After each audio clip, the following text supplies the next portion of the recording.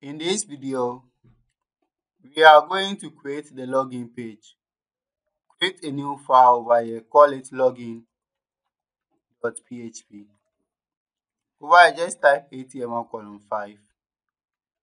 This is where the title will go. To change the title to login, then two vertical pipe, Instagram. And also go to file and set it to auto save. Okay. So download the resource file in this video description in order to follow along. Or you can choose to use your own asset if you want. Is the kind of layout that we are going for. This layout is divided into two columns. Each column will be inside its own container. And we'll make everything be inside one container. The two columns will be inside one container in order for us to be able to center it appropriately. So over here, first go back to your browser. This is what we have so just refresh it. So we need to type login.php so now this is what we have. So now the first thing i want us to work on is to change the icon. I want us to change the icon favorite icon. So this icon over here i want us to change it. So over here let's type link colon favorite icon which is this one. So the href over here is where the image is being located. That's the href where the image is being located. The image is inside the public folder assets images favorite icon instagram.ico so remove this one from here So this one be public assets, images, favorite icon, then Instagram.ico. So there is it. This is what we have. Go back to your browser. Okay. So over here we have section elements. Section over here, we'll give it a class of page container. That's the name of my class. Inside it, we have our main element.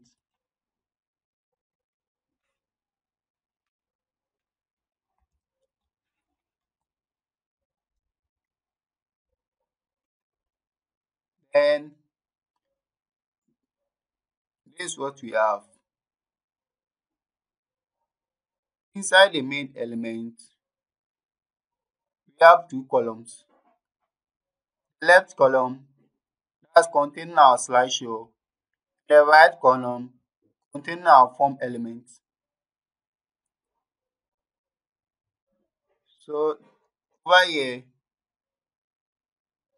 let's give this one a class of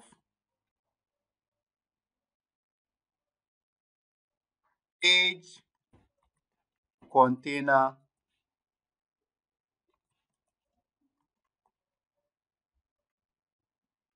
underscore underscore feature.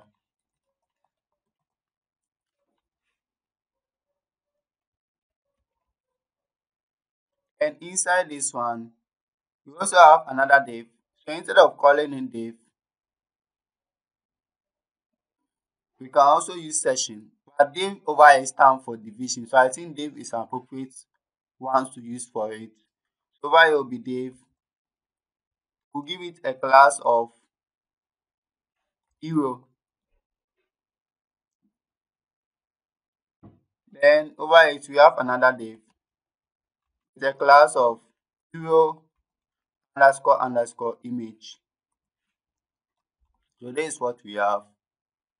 Then outside the email, but still inside the page container underscore feature, we have another div. The class of so instead of calling it div, you can use article because it's an independent can stand on its own. The form element over here can stand on its own. So let's give it an article with a class of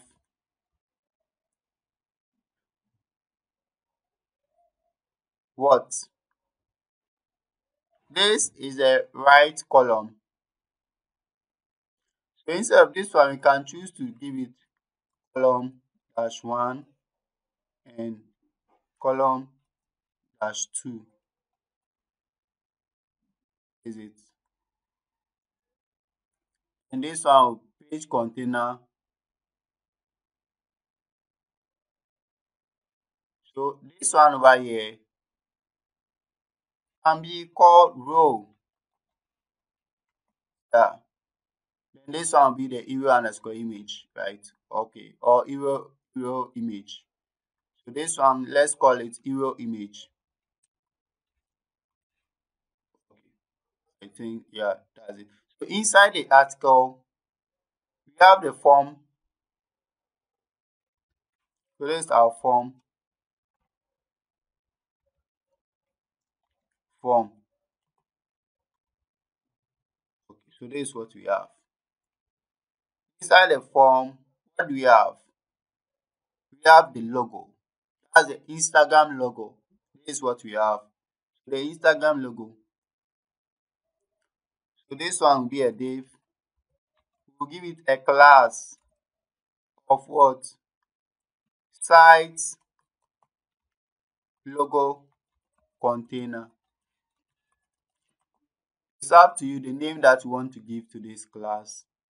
Then inside this is our image tag. Then this one is the source where the image is being located. That's the logo. The logo is inside the Instagram dot that's images logo images dot png. This one will be inside the public folder. So this one will be public assets images logo then image dot.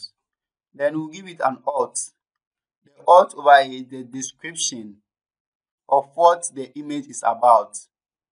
This one the alt over here specify the description of what the image is about. So this one will be instagram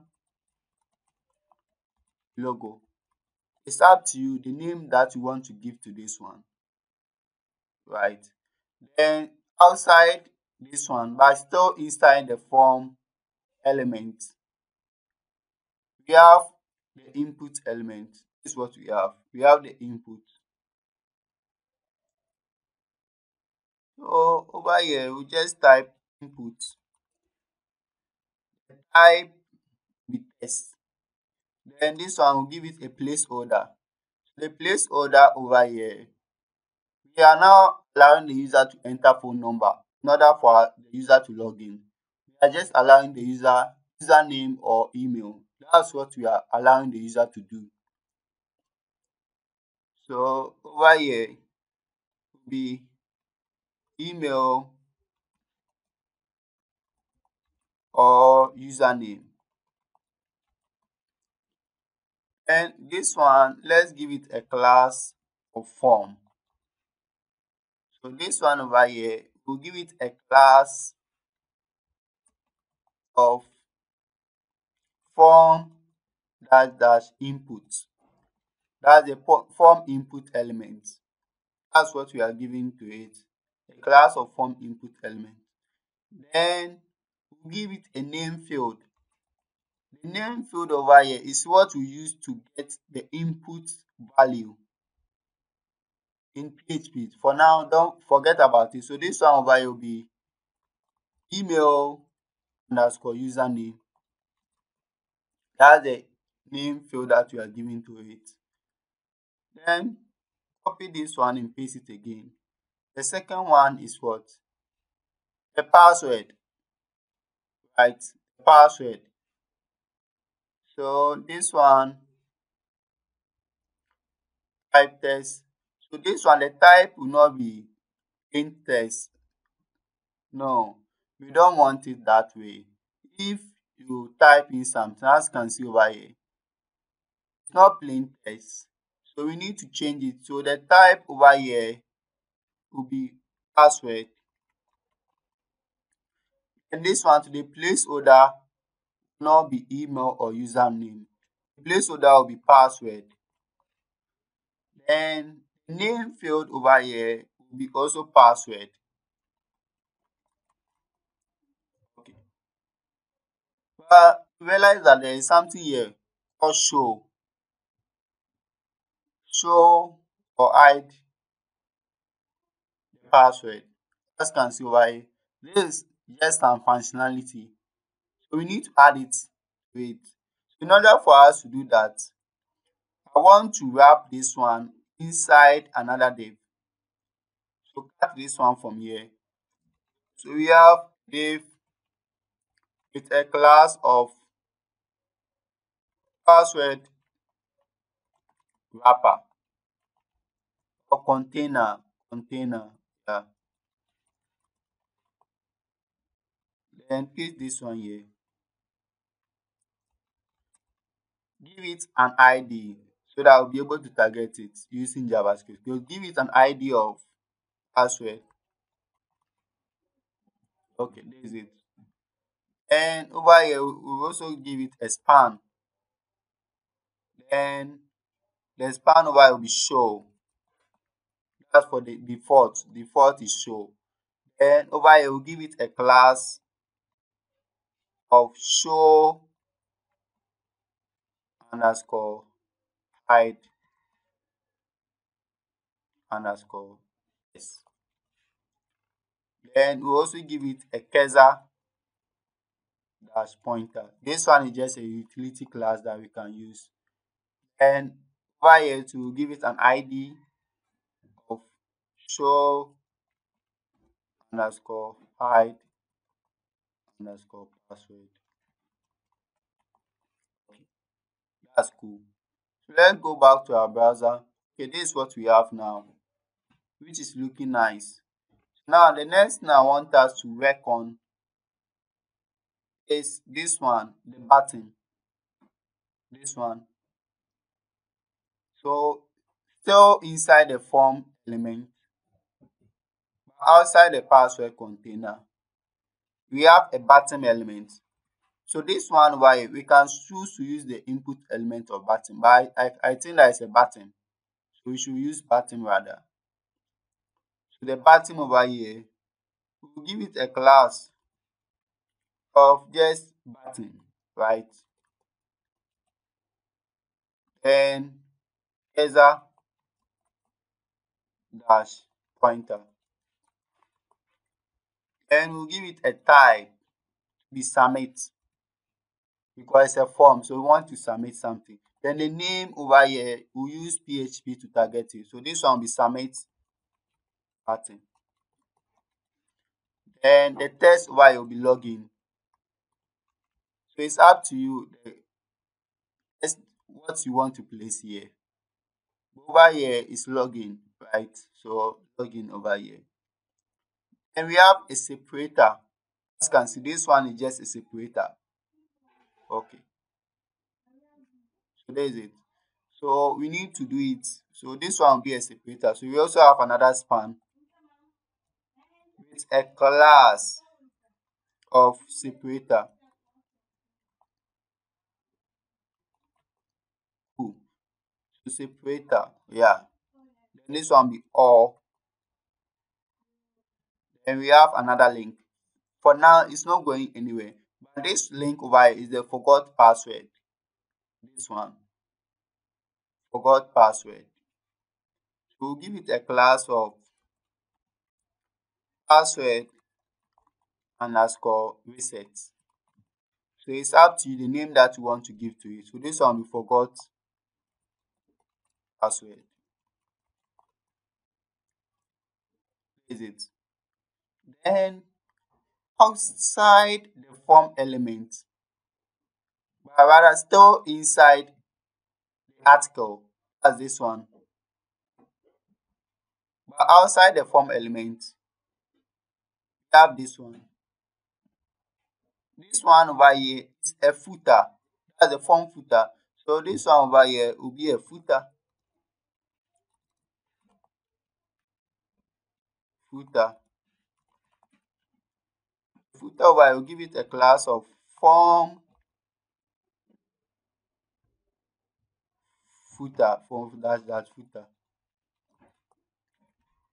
And we have a test. So this one we don't have an account. Then a link. Click on this one. This is a link. Sign up. It's a link. So use an A tag. Then the href over here will be register. So you can choose to call it anything that you want. Register. And this one will be sign up. let's go back to our browser okay so now this is what we have we have been able to draw the skeleton for the login page in the next video we are going to style it so that it look nice